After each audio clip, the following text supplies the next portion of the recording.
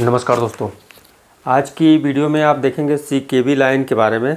सी के B line में ये है कि कुछ लोगों के ये प्रॉब्लम आते हैं कि सी के बी लाइन को कैसे पहचानें सी के बी लाइन से क्या प्रॉब्लम होता है। सी के बी लाइन को अगर कट करें तो किधर से कर, करें मतलब लेफ़्ट करें या राइट करें, और सी के बी लाइन को कैसे हम टेस्ट आउट करके उसके प्रॉब्लम को कैसे सॉल्व करें।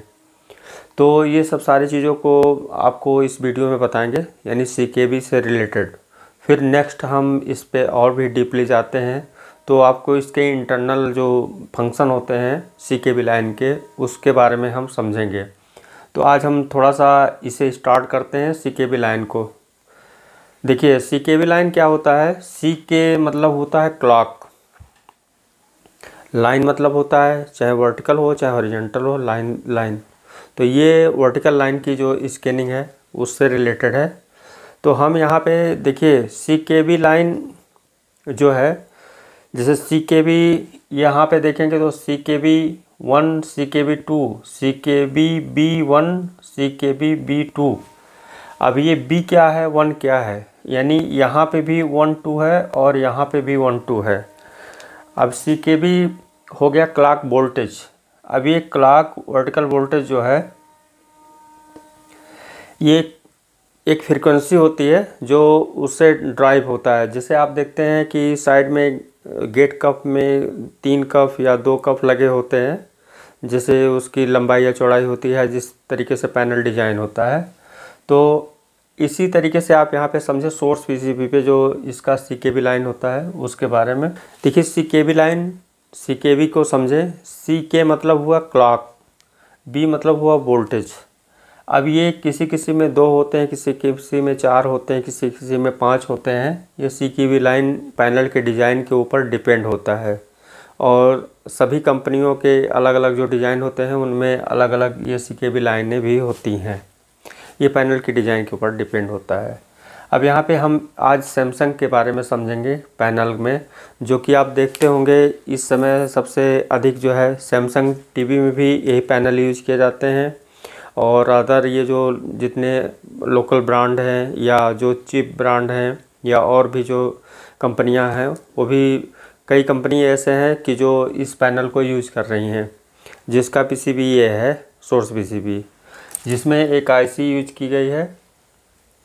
यहाँ पे स्केलर की और एक आई सी यहाँ पे यूज़ की गई है, जो कि जो कि यहाँ पे आप इस तरीके से इसे देख सकते हैं।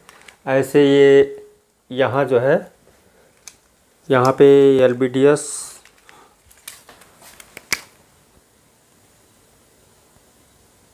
यहाँ पे L B D S cable लगेगा।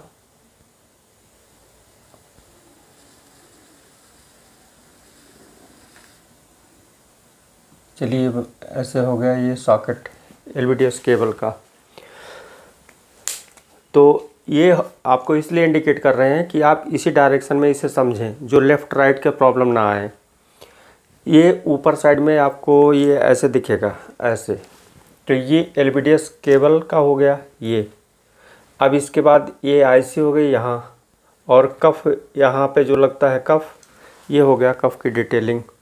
अब ये जो आप सी के बी लाइन की बात करते हैं तो ये यहाँ से स्टार्ट हुआ यहाँ से। तो अब दोनों का देखिए इंटरनल हमने जो है यहाँ पे डायग्राम के द्वारा क्लियर किया है। तो इससे भी ट्रेस आउट करके अभी हम वोल्टेज भी दिखाते हैं और वोल्टेज यहाँ लिख भी दिए हैं। अब देखिए यहाँ हमने जो नीचे कफ नहीं बनाए हैं जो नीचे इसका कफ हो, होता है तो इसे हमने जो है कैंसिल करके पहले नीचे से इसके सिग्नल को क्लियर किया है कि जैसे यहाँ पर देखेंगे, अगर हमारा इस साइड में जैसे ऐसे है तो आपका स्क्रीन नीचे साइड में रहेगा। जब टीवी आप ओपन करेंगे टीवी ओपन करेंगे तो स्क्रीन नीचे रहेगा। तो आपको ये सोर्स पीसीबी मिलेगा। सोर्स पीसीबी से ये जो एल केबल सीधे मदरबोर्ड में जाएगा। अब ये मदरबोर्ड में ये एल केबल निकलने के बाद जब इसी डायरेक्शन में आपको मिलेगा तो आपका ये जो हाथ है, ये हो गया राइट और ये हो गया लेफ़्ट अब इसी कंडीशन में ये हो गया हमारा राइट तो इधर हो गया राइट और इधर हो गया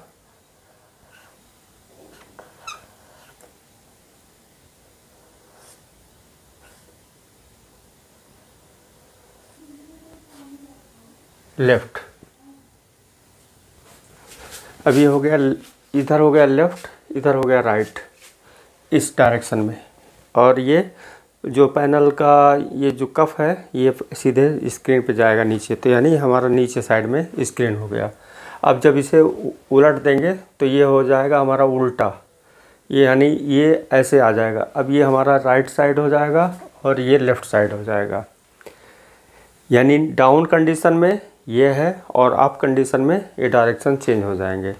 अब आपको सबसे पहले यही तरीका फॉलो करना है, क्योंकि आप क्लियर करेंगे तो इसी तरीके से करेंगे स्क्रीन नीचे करके। तो आप देखिए, यहाँ पे सेवन लाइन यहाँ से स्टार्ट होता है, जो कि जैसे कफ की स्टार्टिंग होती है, जहाँ पे लगता है। तो यहाँ से स्टार्ट होगा तो सेवन लाइन इधर होगा और एट लाइन उस साइड से होगा।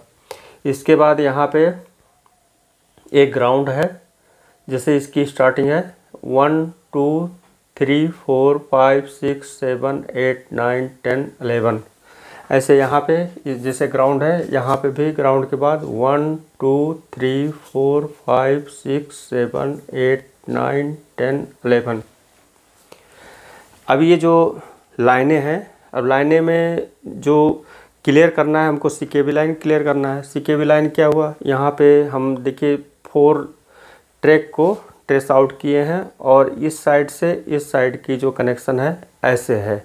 इंटरनल इसके जुड़े हैं। क्योंकि इस समय जो भी पीसीबी डिज़ाइन होती है मल्टी लेयर पीसीबी डिज़ाइन होती है तो इसकी जो लाइनें कहीं नीचे से या कहीं बीच से क्रॉस करती हुई उस जगह पे पहुँचते हैं। तो इसको आप कंटिन्यूटी मोड पे रख के, बजर के मोड पे इसको देखेंगे तो यहाँ से यहाँ पे इसकी जो है बीप सुनाई देगी मल्टीमीटर से। अब आता है कि कट करने का मामला। अगर आपका, मान लीजिए बी जी एच सपोज़ आपका जैसे नो डिस्प्ले है, या डिस्प्ले आया और डिस्प्ले चला गया। उस कंडीशन में सबसे पहले आपको तो ये टेस्ट आउट करना है कि कफ के इस साइड में या इस साइड में कहीं बर्निंग प्रॉब्लम तो नहीं है। यानी बर्निंग अगर इशू है तो वो दूसरा केस हो गया।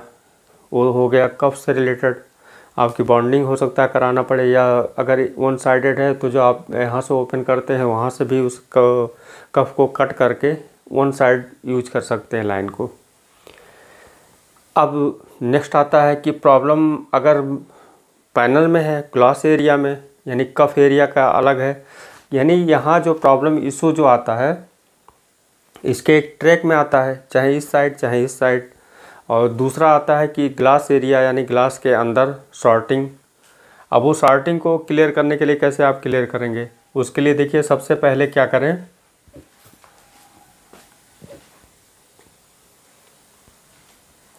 सबसे पहले क्या करें? जैसे आप यहाँ पर देख रहे हैं, ये जो चार लाइनें हैं, इसके बीच कोई भी रेजिस्टेंस नहीं होता। आप चाहे जितना हाई वैल्यू पे देखेंगे बहुत ज़्यादा हाई वैल्यू पे जाएँगे तो वैसे भी मल्टीमीटर का प्रॉप पकड़ने से कुछ रेजिस्टेंस बताता है। लेकिन आप 2000 या उसके आसपास के रेंज पर देखेंगे मल्टीमीटर से डिजिटल से तो यहाँ पे आपका कोई भी रेजिस्टेंस एक दूसरे के लाइन से कनेक्ट नहीं होना चाहिए। अगर कहीं भी इसमें लाइनों में अगर आपकी कोई भी रेजिस्टेंस शो करती है तो इसका मतलब कि ग्लास एरिया में शॉर्टिंग है, या तो कब जहाँ जा रहा है, वहाँ पे बर्निंग इशू है और उसके ट्रैक, यानी जो रास्ते में जैसे कार्बन हो गया तो वो कार्बन भी एक रेजिस्टेंस क्रिएट करता है। अब तो वो भी शार्ट किलर्स लोग भी यूज़ करते हैं तो उसको दूर करने के। लेकिन हम अभी इसको सी के बी लाइन को कट करने, उसके बाद इसको किधर से पहचाने तो उसको आपको हम यहाँ पे बता रहे हैं। अब आपका मल्टीमीटर अगर यहाँ पे लगता है और रेजिस्टेंस शो करता है, यानी यहाँ पे जैसे ये है सी के बी वन तो सी के बी वन यानी यहाँ पे है और ये सी के बी टू ये लाइन है। अब अगर आपका यहाँ से सी के बी बी टू ये वाली लाइन और ये सी के बी बी टू यानी ये वाली लाइन से अगर यहाँ से यहाँ शॉर्टिंग है या यहाँ से यहाँ शॉर्टिंग है तो अगर ये वाला और ये वाला पिन शॉर्ट है तो उसके लिए क्या करेंगे? या यहाँ से यहाँ शॉर्ट है तो क्या करेंगे? क्योंकि अगर आप इधर भी देखेंगे तो भी आपका शॉर्ट वही बताएगा, इधर भी देखेंगे तो भी शॉर्ट बताएगा। अब उसका उपाय क्या है? उसी चीज़ को हम जानेंगे। देखिए, अगर ये शॉर्ट शो कर रहा है तो सबसे पहले क्या करेंगे? इस साइड में आप देखने का प्रयास करें कि जो ज़्यादातर जो प्रॉब्लम आते हैं कुछ सेटों में जैसे कंपनी ब्रांडेड रिलेटेड जो भी फॉल्ट होते हैं, वो फिक्स भी होते हैं कि उसी जगह पे ऐसे ऐसे फॉल्ट आते हैं। जैसे सैमसंग में अलग है LG में अलग है वीडियोकान में अलग है सनसुई में अलग है। तो ये सब सारी चीज़ें सॉरी सनसुई वीडियोकान लगभग एक ही है। तो इसको क्लियर कैसे होगा? तो क्लियर करने के लिए आपको ये कट करना होगा, एक साइड और वन साइड जैसे आप कट करेंगे, अपने आप क्लियर हो जाएगा। आपको दोनों साइड नहीं कट करने की ज़रूरत है। ठीक है? कोई भी एक साइड आप कट करें। तो पहला तो यहाँ से राइट से कट करें। ये कब होगा कि जब यहाँ पे मान लीजिए यहाँ से, जैसे ये लाइन है, ये लाइन ये, और ये लाइन ये लाइन। जैसे ये लाइन सी के बी बी टू और यहाँ पे सी के बी टू यानी ये वाला और ये वाला। यहाँ पे तीन सौ निन्यानवे ओम सॉर्टिंग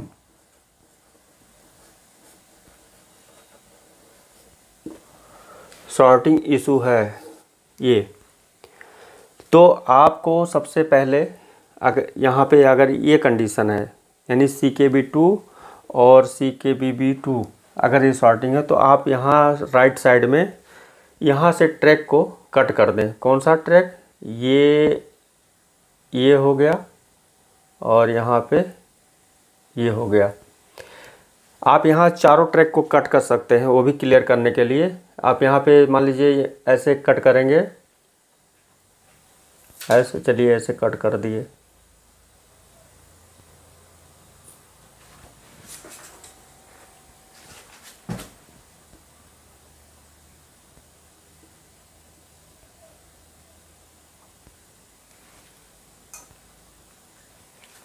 अब इसको देखिए कहाँ से कट करेंगे। अब इसको कट करने के लिए यहाँ से आप कट करें। ठीक है ये जो है ए, ऐसे ये यहाँ से ऐसे ये कट कर दें और यहाँ पे ये कट हो गया और ये कट हो गया। अब ये कट के बाद अब आप फिर से जब देखेंगे शॉर्टिंग यहाँ पे इसके टेस्ट पॉइंट पे तो आपका ये शॉर्ट नहीं शो करना चाहिए, फ्री हो जाना चाहिए। अगर इसके बाद भी ये शॉर्टिंग आ रहा है यानी टेस्ट पॉइंट पे तो इसका मतलब कि शॉर्ट इस साइड में है। और अगर ये शॉर्टिंग यहाँ से और यहाँ से मल्टीमीटर लगाने पे शॉर्टिंग नहीं शो कर रहा है, यानी ये जो तीन सौ निन्यानवे ओम दिख रहा था, ये अब नहीं दिख रहा है तो शॉर्टिंग इधर है। अब यही मल्टीमीटर से आप यहाँ से इसके ट्रैक पे देखेंगे यहाँ से और यहाँ पे जैसे कट है। तो आपको ये ओम दिखाई देगा। हाँ। अब देखिए यहाँ से अगर कट किए आप ऐसे।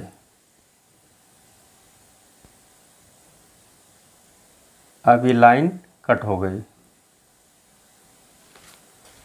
अब ये लाइन अगर कट हो गई है तो ये आपका यहाँ से इतना फ्री हो जाएगा।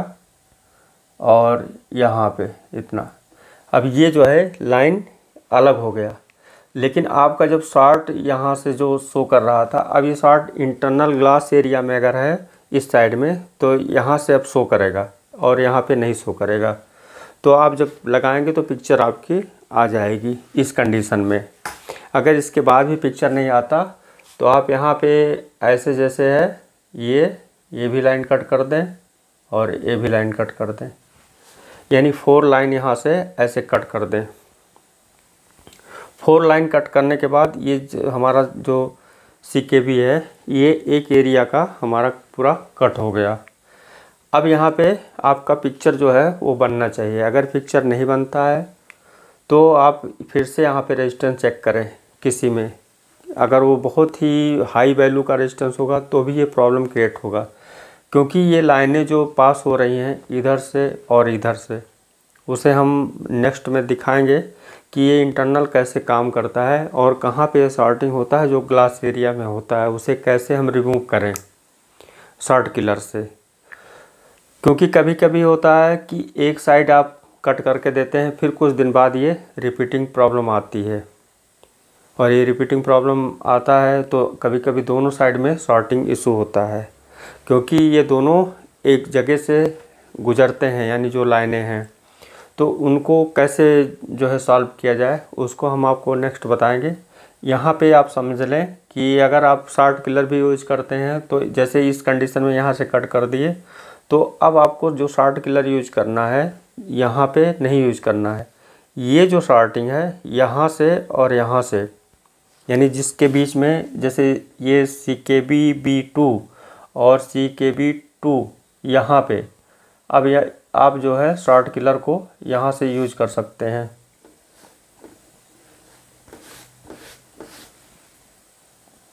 यहाँ पे। कोई भी plus minus AC voltage DC voltage किसी भी तरीके से स्पार्क करके उसे जो हाई बूस्टअप से इसे कट कर सकते हैं।